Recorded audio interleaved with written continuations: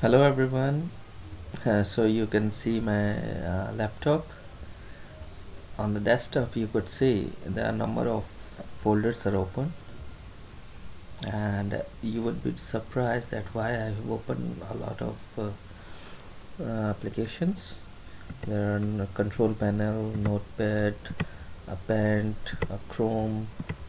There are number of folders you see the number of folders I've also opened. So uh, you might be surprised that uh, why these are opened.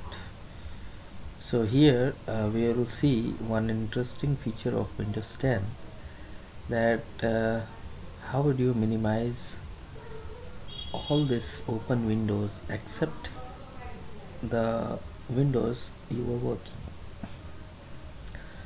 so in your in in sorry in our uh, windows 7 uh, shortcut key series you had seen that uh, if you want to minimize all so you can simply press control m uh, sorry windows and m. You see all are over well all are minimized. Okay.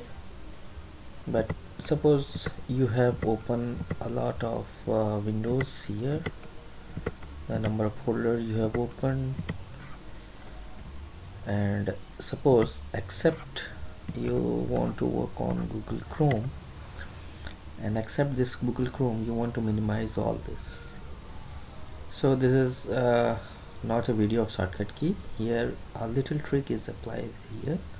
A little uh, uh, what uh, functionality they have given to us that if you want to minimize all the windows except this uh, Chrome window so simply you could uh, stick this uh, uh browser twice you see. I simply sec you see all are minimized. If I sec it again all have come. So simply sec it you see. When you sec it is completely minimized except this and if you reset again you see. So to minimize all you simply check this windows. Now suppose you want to work on notepad and these are all open. Let's see. Now if you uh, if you want to minimize all except this. You can simply check it. See? You want to take it again see all have come. So this is one interesting feature I have found here. So try from your side. Thank you very much